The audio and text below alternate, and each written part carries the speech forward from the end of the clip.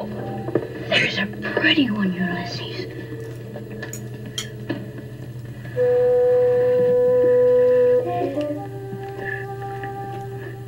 There it is. Hello BookTube, I'm Shawn the Book Maniac. Welcome back to my channel. Here I am with another box of my very most favorite books, which I had stored at my parents' farm in Saskatchewan a decade ago, and then we all kind of forgot where they were. Last night, I'm here home on a visit from Japan. We found them, and it's I've just been like a kid in a candy store opening these boxes. I've looked through them already, but I'm going to show them to you, and that way keep track of which books are in which box. So this is box E. Here we go. This is a gay novel from the mid 1980s, Jack the Modernist by Robert Glück. It's highly experimental. When I read it in the early 90s, I quite liked it. I don't remember a blessed thing about it now. Another in my rather complete collection of the works of Mark, the gay American poet Mark Doty, School of the Arts poems by Mark Doty, all signed. This book didn't quite get tucked into the box correctly, so it's quite warped. It just needs to be pressed between some books. It's a gay novel from the UK that I never, as far as I remember, got around to reading. Graeme Woolaston's Stranger Than Love, published in 1985. I think I bought this at a secondhand bookstore in London when I was there in the mid 1980s. Phillip Lopate's anthology of personal essays against joie de vivre.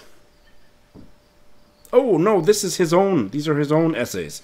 He has uh, edited anthologies of uh, personal essays, but these are his. I have not read it. This is another book by the gay Asian Canadian novelist Wayson Choy. This is his memoir of his childhood, Paper Shadows, A Chinatown Childhood. I have it signed by Choy, Family is Who Loves You. He passed away earlier this year, and I want to read all of his books and do some a spotlight video on the writing of Wayson Choy. This one's going back to Japan with me. Blood and Tears, an anthology of poetry about or for Matthew Shepard, edited by Scott Gibson. 1999, include, including poems by John Ashbery, Robin Blaser, Rafael Campo, Alfred Corn, Robert Glück, Rachel Hadas, and many more. Now, this one, I obviously didn't find out about it until after I stored it in this box. What's his name? Greg Mortenson's Three Cups of Tea about his project of getting funding from Americans, including the American government, to build schools for Afghan girls. And then it was revealed that he was a complete scam artist, and most of that money went into his own pocket. So this one is going in the trash, actually. Hornito by Ma Mike Albo, one of my favorite gay novels of the 1990s. It's a rather uh, controversial cover, but you know, Volcano. Um, I don't know if I would like it today, but I quite I loved it back in the day. This must be so dated. The the Gutenberg Elegies by Sven Birkerts. He was decrying the electronic age. I read it, and I, I just all I remember about it is I loved the writing.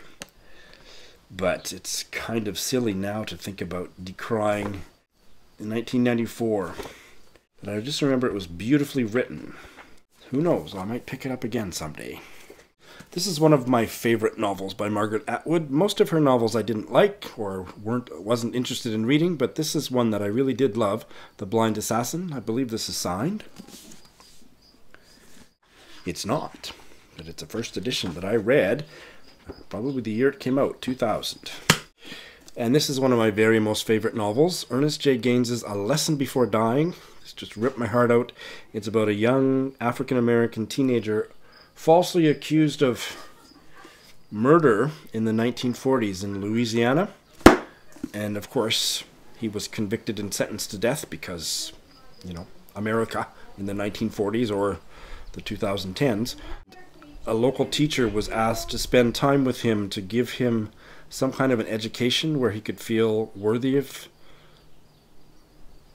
to feel some sense of self-worth before he was executed and that's the novel it's just incredible I don't think I would end up loving this novel now, but I did at the time. The Sacred Lips of the Bronx by Douglas Sadownick, a gay Jewish themed novel from the written in the 1990s, I think. I kept this one. I thought it was a pretty good novel. The Curious Incident of the Dog in the Nighttime by Mark Haddon. Enough said about that.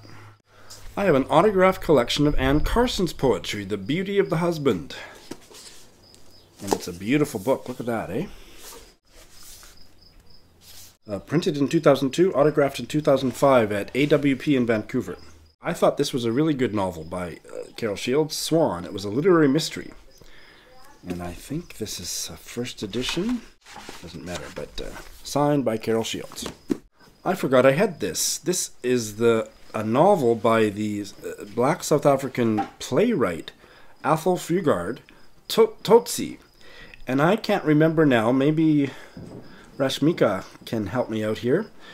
There was an, a movie that came out in the 2000s called Tsotsi that I have the DVD of, and I loved it. And I don't know if it was based on this novel or not, but I'm sure that's why I got the novel, and it's in beautiful condition, and I've never read it. Tsotsi is, uh, I believe it's, oh, it's Afrikaans word that means thug or hoodlum. 1980 novel. A book of gay poetry from Canada. Designs from the Interior by John Barton. I think I liked it.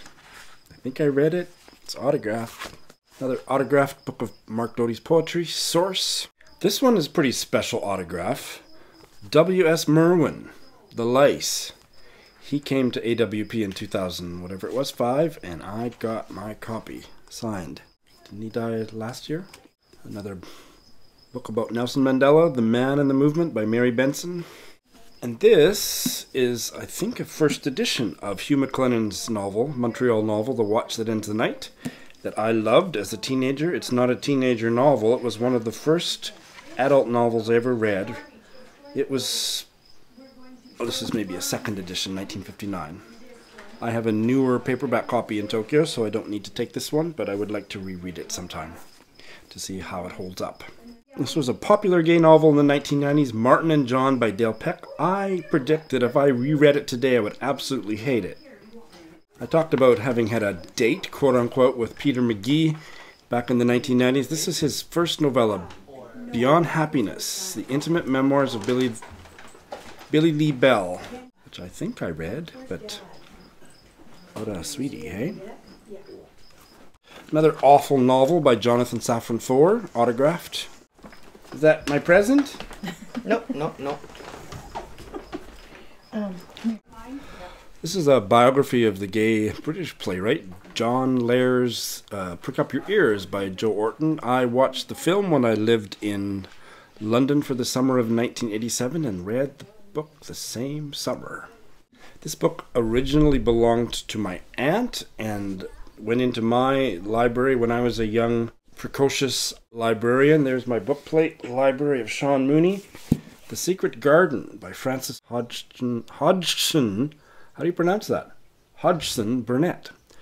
I love this novel so much, and this has family sentimentality behind it, and it's a beautiful hardcover edition. I don't think it's a first edition. Looks like maybe a second edition, 1911. This one was also an important book in our family. I, I was given it, I think, by my grandparents. Nobody's Boy by Hector Malot. It's about a French orphan. This edition published in 1916, and I loved this novel. And the last book in box E is a huge coffee table of Keith Haring's art. Barely fits in the box.